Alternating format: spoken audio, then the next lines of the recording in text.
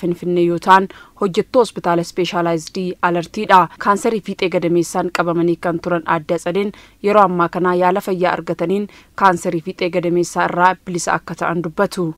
ተስፋ የመቁረጥ ሁሉ ነበረብኝ። በቃ አልመረመርም ብዬ ሁሉ ትቼው ነበረ።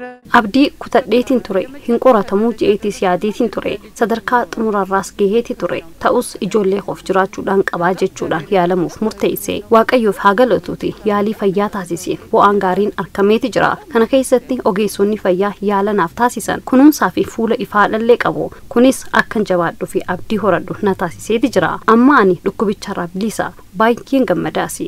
Yeroo ammaa kana qorannoo fi yaaliin kaansarii fiixee gadameessaa tolaan taasifamaa waan jiruuf dubartoonni carraa kanatti fayyadamanii qorannoo taasifachuun dhukkuba balaafamaa kana irraa akka fayyan Aadde Atsadeen waamicha dhiyeessaniiru.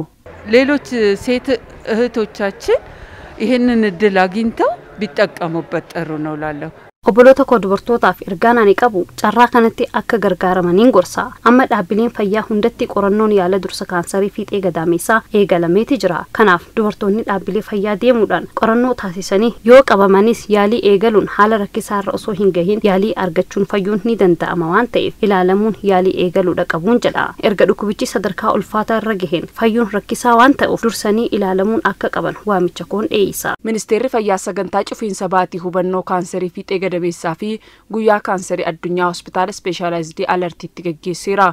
Saganticha irratti kan argaman ministeera fayyaatti hojii raawwachiistuu olaantuun ittisaa fi to'annoo dhibeewwanii Dr. Hiwat Solomoon akka Itoophiyaatti dhukkuboota dubartoota huban keessaa kaansarii harmaatti aanuun dubartoota du'aaf kan saaxilu kaansarii fiixee gadameessaa akka ta'e dubbatu. Waggaatti sababa kaansarii fiixee gadameessaatiin lubbuun dubartoota kuma shanii akka darbu kan himan Dr. Hiwat dhukkuba kana hambisuuf hojiileen garaagaraa akka ministeera fayyaatti hojjetamaa akka jiru dubbataniiru. በአመት ውስጥ እንደ አማካይ ስናይ እስከ አምስት ሺህ የሚሆኑ ሴቶች ደግሞ በዚህ በሽታ ምክንያት ህይወታቸውን ያጣሉ። sadarkaa biyyaatti waggaatti giddu galeessaan dubartoonni kuma shan ta'an sababa dhukkuba kaansarii fiixee gadameessaatiin lubbuu isaanii ni dhabu dhukkubni kun dhukkuba to'atamuu danda'u waan ta'eef dursanii ittisuu irrattis akka ministeera fayyaatti hojiilee garaagaraa hojjechaa jirra Kanaanis shamarran umuriin isaanii waggaa sagalii hanga kudha afurii gidduu jiran manneen barnootaa waliin waltumsuun talaalliin kennamaafii jira.